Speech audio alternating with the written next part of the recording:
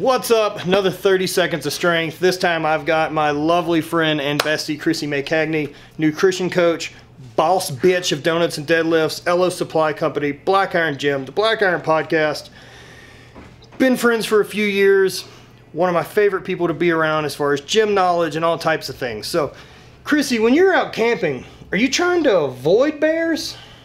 Yeah, I'd say so. Catch you next time. Thanks a bunch. Thanks. Use that information. Go on with it. Have a good night.